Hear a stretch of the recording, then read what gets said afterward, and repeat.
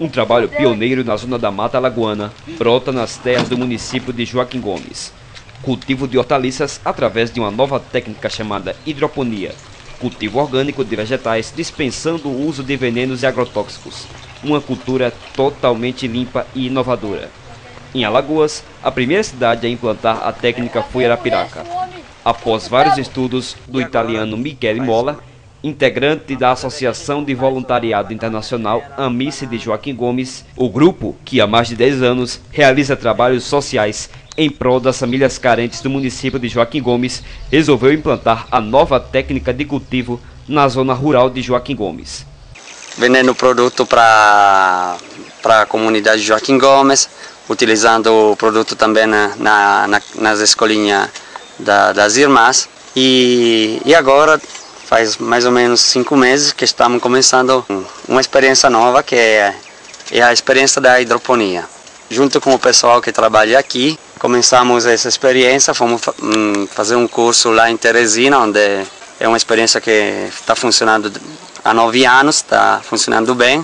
O cultivo é realizado na Associação Novo Horizonte, que existe desde o começo dos anos 2000, criado pelas Irmãs de São José, fica a 2 quilômetros da zona urbana de Joaquim Gomes. Na fazenda, cultiva-se de tudo um pouco, de vegetais a mel de abelha. É um sistema que funciona assim, tem uma caixa de mil litros eh, embaixo e uma outra caixa de mil litros em cima. Tem uma bomba que bombeia água para a caixa colocada em cima. Depois, através de um sistema de, de cano, a água cai, passa em pequenas mangueiras com cada uma mangueira tem um gotejador com água e a solução nutri, é, nutritiva e depois o nutriente passa para cada garrafa, alimentando cada pé e volta para a caixa embaixo. Assim tem um, um desperdício muito menor de, de água, porque não precisa de irrigação.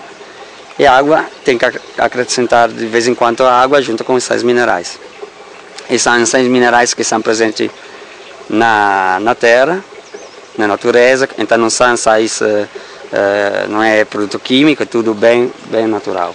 Michele disse que já atraiu vários interessados na venda dos vegetais, de um supermercado muito famoso em Joaquim Gomes até de um restaurante. E uma cultura mais limpa, mais saudável. Então pensamos assim de hum, experimentar também aqui em Joaquim Gomes que uma cidade, um território que poderia ser muito mais uh, desfrutado pela, pelo clima, pela natureza. E vamos ver se essa experiência dá certo. Talvez pode ser também um exemplo de microempresa também.